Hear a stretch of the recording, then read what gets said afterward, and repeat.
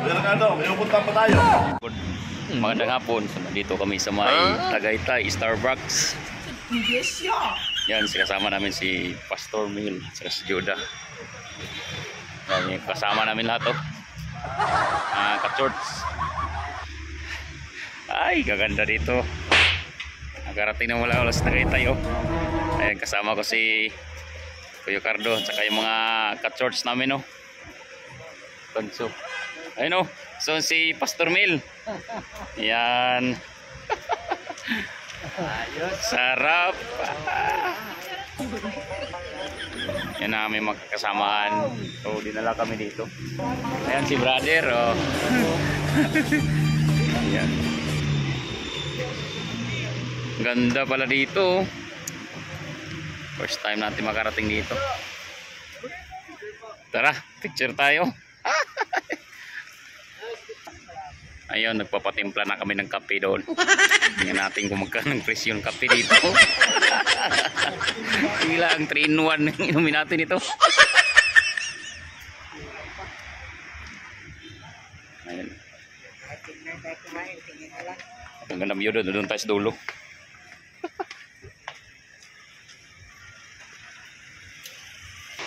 Happy Father's Day. Yan. So dito kami nag-celebrate celebrate ng Father's Day. So sunod tayo dito sa ating team leader kay Pastor. At syempre, bago tayo magpasalamat sa nag-sponsor, panoorin natin ang Taal Volcano. Una sa lahat, ating pasalamatan ang nag-sponsor si Pastor Mel Parsia at saka sa mga kasama niya. Ah, shout out sa napitikan ko ng aking kamera at lalo na ako'y napa-excited nung pumunta kami no, ah, ground floor. No, shout out pala sa aking pamangkin ng asawa ko, si Judah. At saka si Pastor Mel, nakaporma na. At siyempre, aabutin pa ang order namin ng mga 15 minutes. Siyempre, sa kakaantay namin, excited ako, ito na. Ayan. Makikita mo, ang tinapay, 60 pesos ang isa. Ang caramel coffee na malamig, ah, mura lang, 250 ang isa. So, murang-mura nga. Talagang mura. At siyempre, pagkatapos mag-Starbucks, ah, pupunta na naman kami sa may mahogani, doon sa may bulaluhan. Dito kami sa may bulaluhan, mahogani, Tagaytay.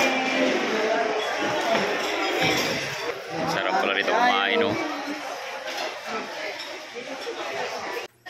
Ah, share ko lang sa inyo. Maraming salamat sa inyong lahat.